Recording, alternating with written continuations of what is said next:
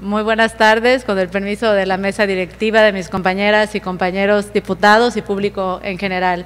La suscrita, diputada Elda Candelaria Ayuso Achach, representante legislativa del Partido Revolucionario Institucional e integrante de la honorable decimoséptima legislatura del Estado, con la facultad que me confieren los artículos 68, fracción segunda de la Constitución Política de los Estados del Estado de Quintana Roo y con el sustento en los artículos 140, 141 y 146 de la Ley Orgánica del Poder Legislativo y el artículo 36 del Reglamento para el Gobierno Interior de la Legislatura del Estado, me permito presentar ante esta honorable legislatura del Estado de Quintana Roo para los efectos legales correspondientes la iniciativa de decreto por el que se declara 2023 Año de la Paz y Seguridad, misma que se sustenta de conformidad con la siguiente exposición de motivos.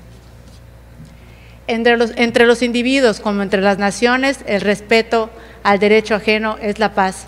Hoy, aquel apotegma del entonces presidente Benito Juárez sigue siendo una fórmula universal de convivencia humana.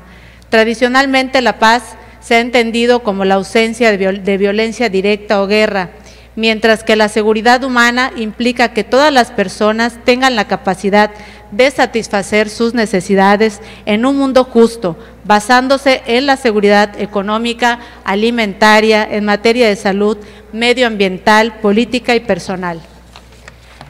Las nuevas generaciones conceptualizan a la seguridad como un vivir sin miedo. Pese a lo expresado, el día a día nos ha mostrado las múltiples situaciones en las cuales se violentan los derechos humanos y la vida misma de las y los quintanarroenses, mexicanos y ciudadanos del mundo. La pasada pandemia produjo de forma violenta e inmediata una inseguridad en un tema de salud. Vulneró fuertemente esta esfera en la que lamentablemente perdieron la vida mucha gente querida. Esta crisis generó una desestabilización económica, aumento de desempleo y disparidad de ingresos, conllevando una inseguridad económica, lo que se vio reflejado en inseguridad alimentaria. El agotamiento de recursos naturales o su escasez lo vimos en inseguridad medioambiental y el aumento de la violencia y delincuencia se reflejó en inseguridad personal y política por lo que un gran desafío para la honorable decimoséptima legislatura del Estado es sin duda el reforzar la construcción de la paz y seguridad a nuestra gente. Construir una paz duradera y seguridad en una, en una sociedad que ha sido lastimada requiere de nuestro esfuerzo y de todo nuestro compromiso.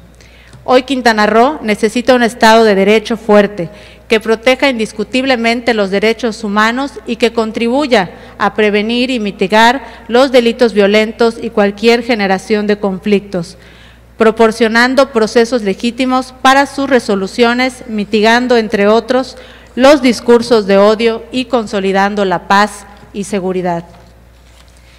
Este primer proyecto se presenta ante la pronta sucesión de cambio de gobierno estatal, en el cual por primera vez una mujer gobernará nuestro Estado. Por lo que con el fin de velar por la seguridad inmediata y afianzar la estabilidad necesaria para la, para la consolidación de la paz, tengo la plena convicción de que la suma de todos los poderes y de todos los niveles de gobierno contribuirán a un mejor Quintana Roo. La paz no es un fin, es un proceso. No supone un rechazo del conflicto. Al contrario, los conflictos hay que aprender a afrontarlos y a resolverlos de forma pacífica y justa. Necesitamos vivir libremente sin ver amenazada nuestra integridad personal. Necesitamos vivir en un Quintana Roo libre de violencia, con calidad de vida y con desarrollo sostenible.